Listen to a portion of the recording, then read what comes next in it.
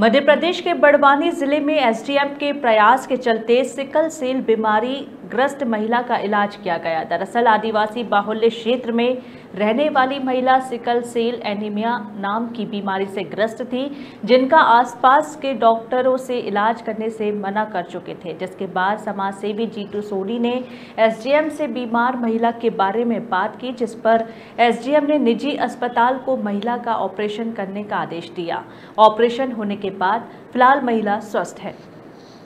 ये दयाराम जो है, मेरा बहुत पुराना दोस्त है। इसने समस्या बताई मुझे कि लाड़ी को ये ये तकलीफ़ है।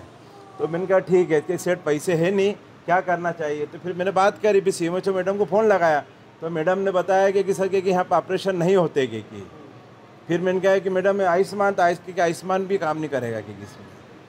फिर मैंने एचडीएम साहब से बात करी फिर एचडीएम साहब ने कहा कि ठीक है सोनी जी यहाँ भेजोगे कि अपन कराते फिर मनोरमा में भेजा यहाँ पर अस्पताल में ऑपरेशन हो गया है।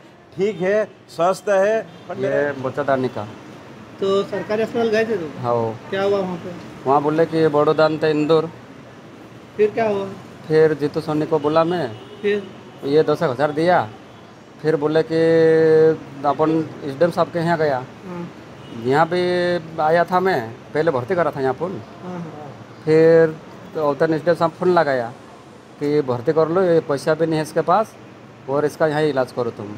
इलाज हो गया? इलाज हो गया ऑपरेशन हॉस्पिटल लिए मनोराम। पैसे लगे आपको? नहीं। तो इलाज हो गया अभी? इलाज हो गया ऑपरेशन हो गया कल। सिकल सेल की बीमारी और साथ में ब्लीडिंग हो रही थी जो इसके लिए जानलेवा थी।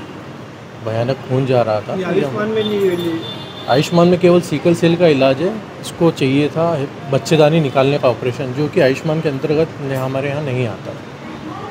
फिर एस सर ने हमें कॉल करके बताया इसकी गरीबी वगैरह के बारे में। तो हमने इसके लिए सारी चीज़ें निःशुल्क करके इसका पूरा ऑपरेशन करवाया।